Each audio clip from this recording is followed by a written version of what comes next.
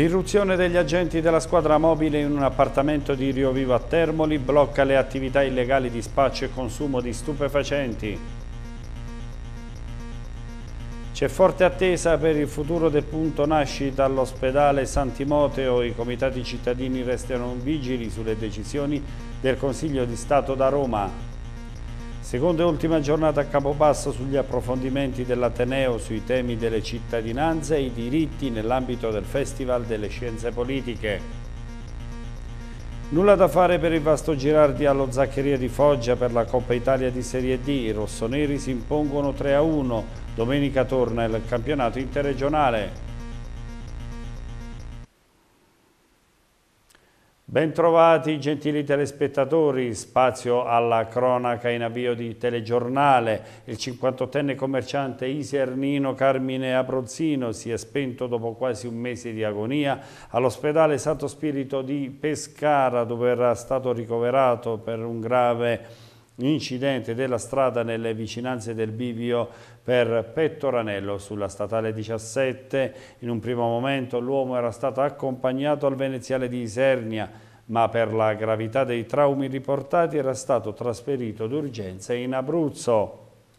Bloccata dagli uomini del commissariato di Termoli, una centrale dello spaccio in un appartamento di Rio Vivo, per un pregiudicato si sono spalancate le porte del penitenziario di Larino. Vediamo.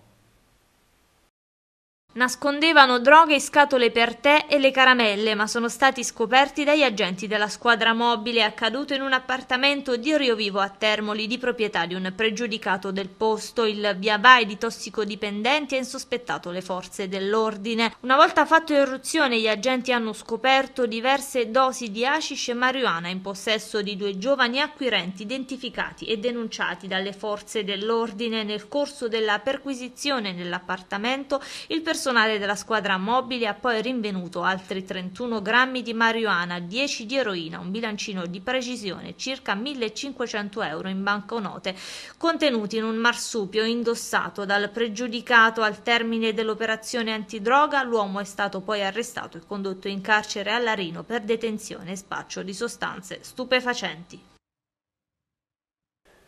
La Guardia di Finanza del Comando di Campobasso ha sequestrato in un comune dell'entroterra un'autofficina abusiva.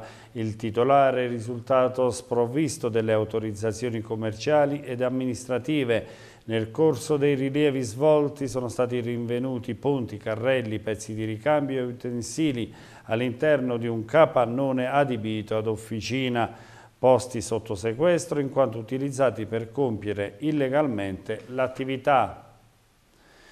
Punto nascite all'ospedale San Timoteo di Termoli. Dopo l'udienza al Consiglio di Stato nella capitale si attende il verdetto dei giudici. Il futuro della sanità pubblica nel Basso Molise è appeso ad un filo.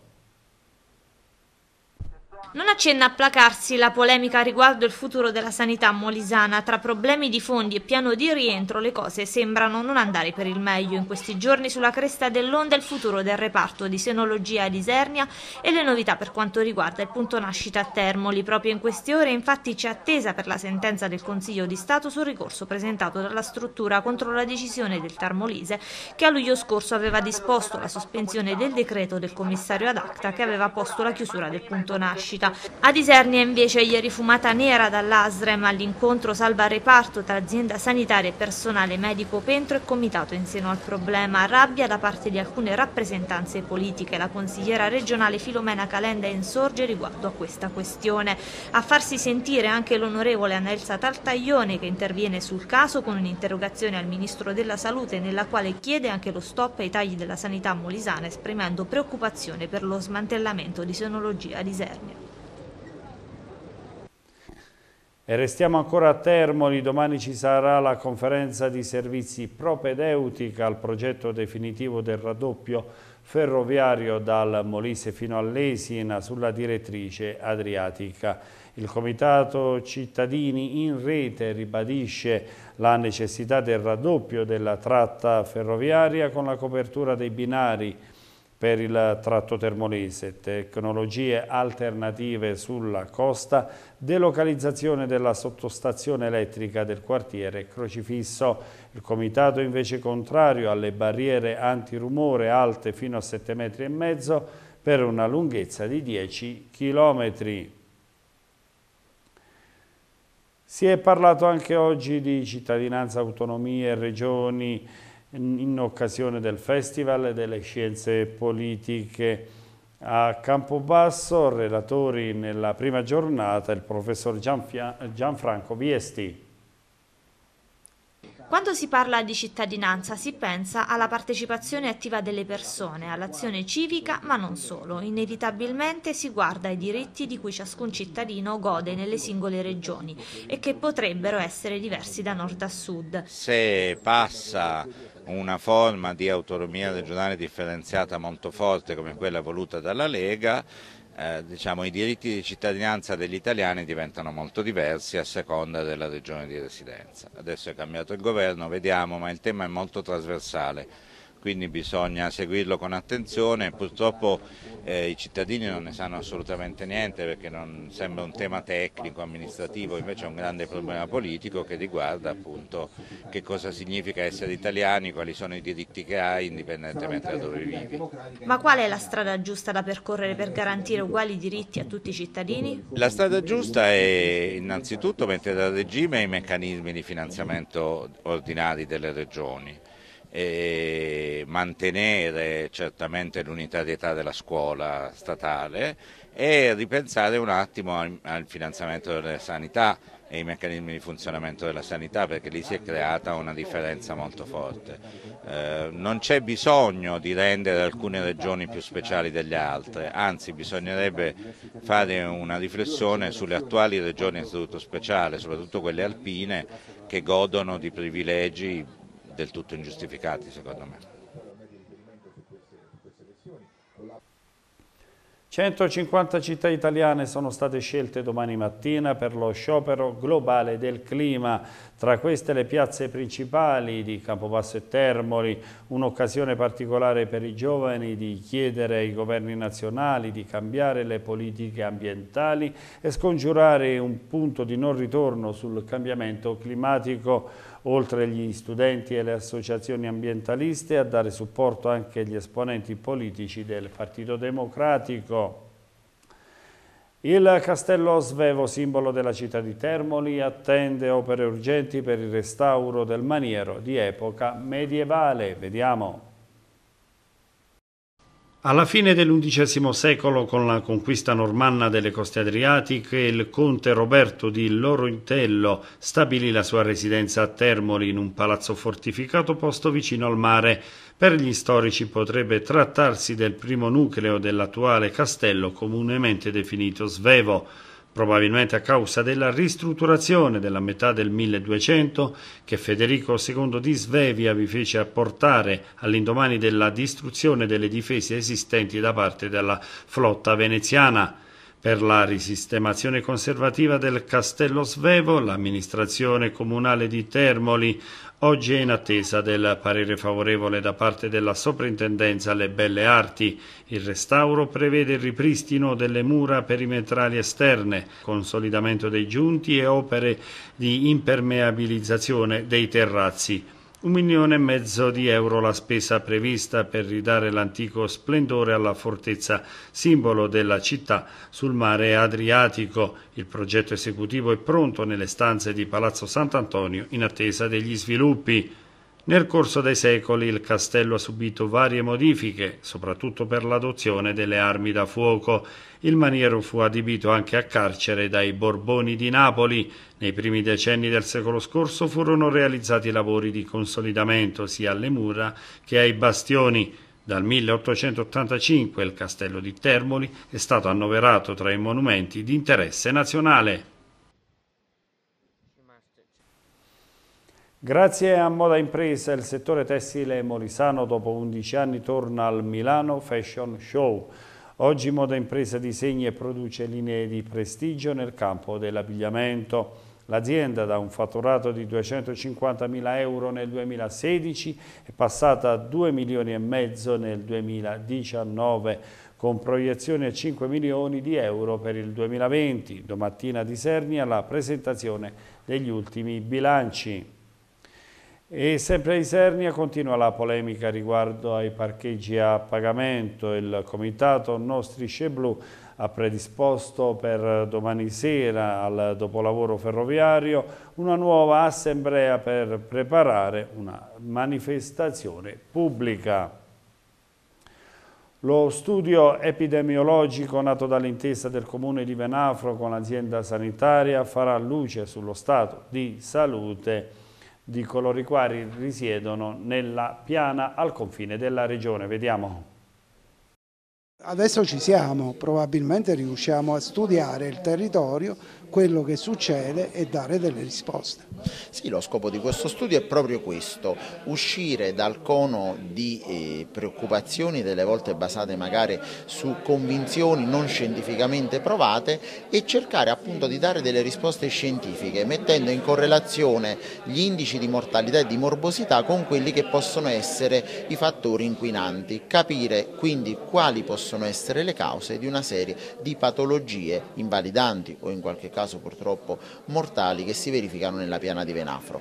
È una giornata importante quella di oggi perché a questo studio arriviamo partendo da un'istanza dei cittadini e delle associazioni dei cittadini, in particolare l'associazione delle mamme per la salute e per l'ambiente, ma partendo da queste istanze tutte le istituzioni, regione, ASREM, comuni, si fanno carico di un problema e cercano di dare una risposta adeguata, scientificamente fondata. Ecco, questa è la grande svolta di questo momento Parlamento le istituzioni che si fanno responsabilmente carico di quella che è una tematica che allarma sempre di più i cittadini. Tutto questo deve essere coniugato con la tutela della salute nel territorio, quindi una sanità che sia adeguata a tutta l'area.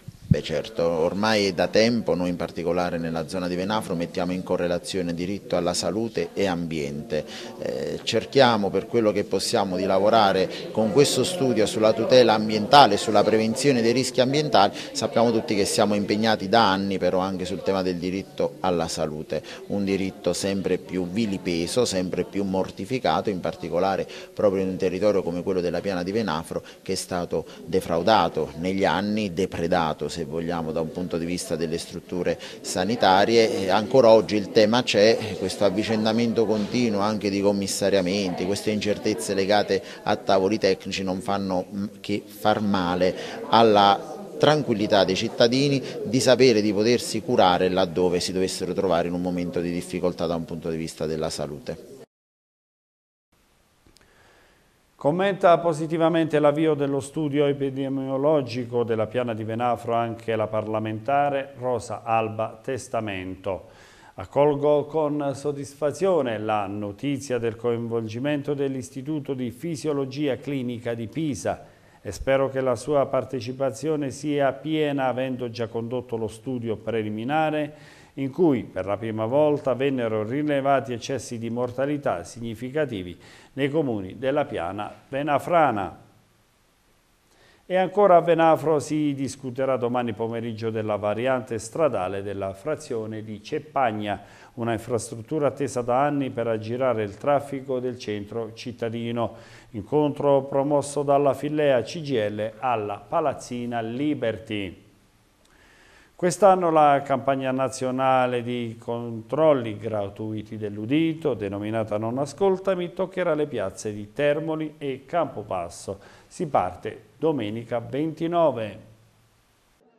Il 29 settembre in piazza a Termoli e il 6 ottobre in piazza Vittorio Emanuele a Campobasso. Sono queste le due tappe molisane della decima edizione di Nonno Ascoltami, la campagna nazionale di prevenzione contro i disturbi uditivi che coinvolgerà 38 città e 15 regioni italiane. Obiettivo della iniziativa che prenderà il via il prossimo 22 settembre la divulgazione e la sensibilizzazione contro i disturbi uditivi. Così come ogni anno, fino ad ottobre, gli ospedali delle principali località del paese scenderanno in piazza con i propri medici e specialisti che, insieme a tecnici dell'udito, per un'intera giornata incontreranno i cittadini all'interno dei presidi medici avanzati messi a disposizione da Croce Rossa e Misericordia.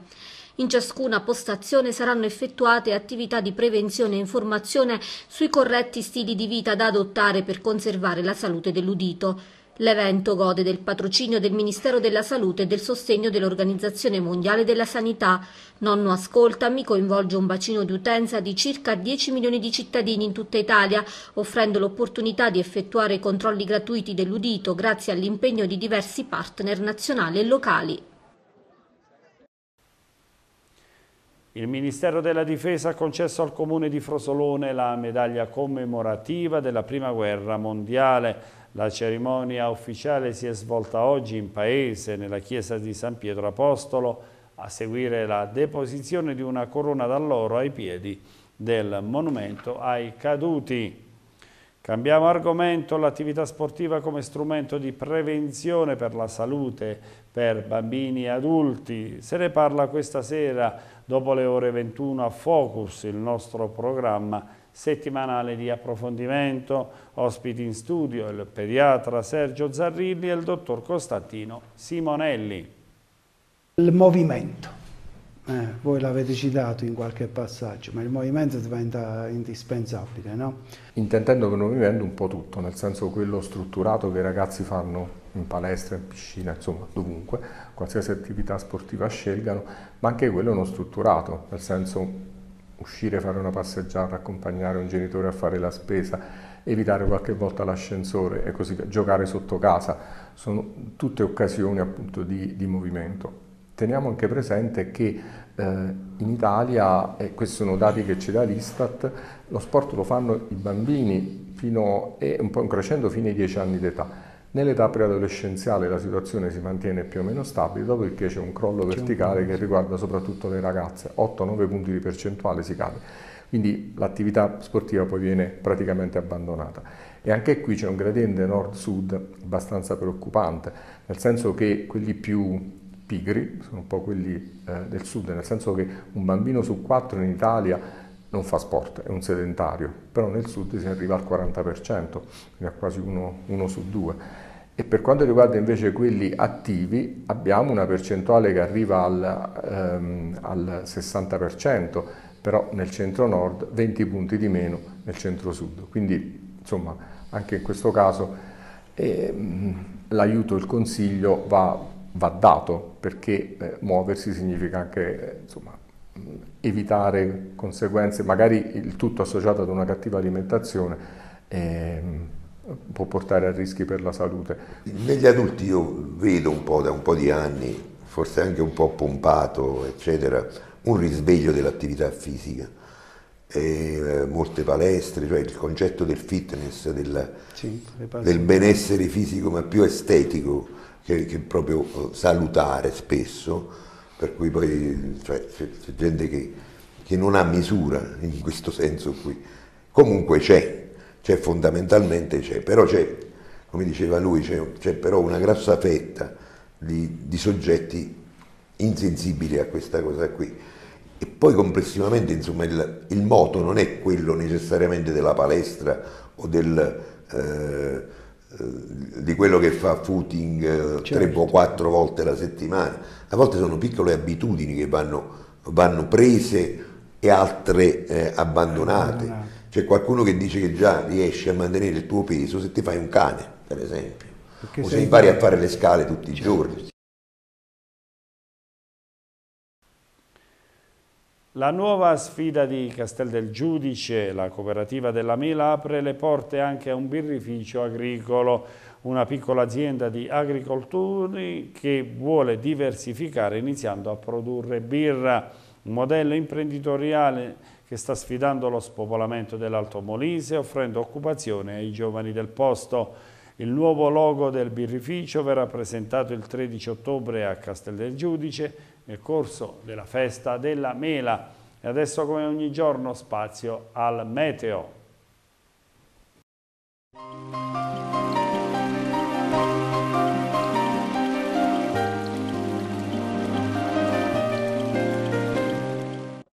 La gamma commerciale, tutta l'energia che ti serve, è in Viale Olanda nella zona industriale di San Salvo.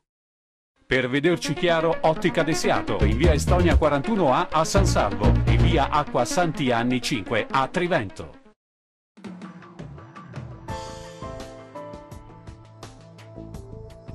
Parzialmente coperto nelle zone interne dalla sera, le temperature sono comprese tra i 17 gradi di Campobasso e la massima di 25 gradi ad Isernia, ventilazione da nord-est, calmo il medio Adriatico. Sulla regione domattina ampi spazi di sereno nel cielo, valori climatici stazionari, venti di direzione variabile.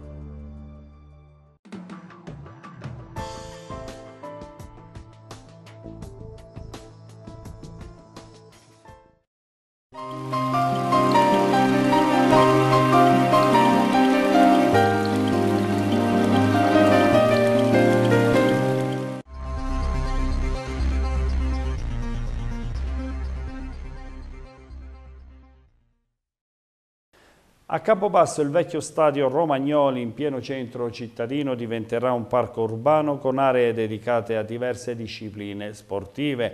La manifestazione denominata Urban Sport Day è prevista nelle giornate di sabato e domenica. 32esimi di Coppa Italia Mari per il Vasto Girardi impegnato nella difficile trasferta di Foggia padroni di casa si sono imposti con il risultato di 3 a 1. L'avventura nella Coppa Italia di Serie D per il Vasto Girardi si ferma ai 32esimi di finale, travolti per 3 a 1 dai padroni di casa del Foggia. I rossoneri si lanciano subito all'assalto, relegando gli uomini di Mister Farina nella loro metà campo ad incassare gol. La strenua resistenza dei molisani allo Zaccheria dura 11 minuti quando un rimpallo al limite dell'area di rigore favorisce l'inserimento di Gentile che, senza farselo ripetere due volte, firma l'1-0 del Foggia. Appena tre minuti più tardi, un calcio di punizione dei pugliesi diventa fatale. Campagna apre per Gentile che prolunga verso Salines, pronto ad insaccare il 2-0. A metà del primo tempo si riaccendono le speranze dei giallo-azzurri con il classico gol dell'ex. Il portiere rossonero calcola male i tempi consentendo a Chiere Mateng di andare in rete. Il secondo tempo tuttavia spegne definitivamente i sogni del vasto Girardi quando Iadaresta raccoglie un cross dalla sinistra e realizza il 3-1. I molisani salutano così la coppa e si rituffano nel campionato che li vedrà impegnati domenica in casa del Tolentino. Chiudiamo con il calcio a 5, i quintetti molisani, Cus Molise e Chaminade sono stati inseriti dalla Lega nel girone L del campionato nazionale Under 19, 10 i club abruzzesi, Acque Sapone, Pescara, Realdem, Ortona, Popoli, L'Aquila, Città di Chieti, Celano, Vasto e Orione Avezzano. Il torneo partirà domenica 6 ottobre, mentre mercoledì 9 ci sarà il via alla Coppa Italia Under 19. Con questa notizia è proprio tutto. Grazie per essere rimasti con noi, arrivederci.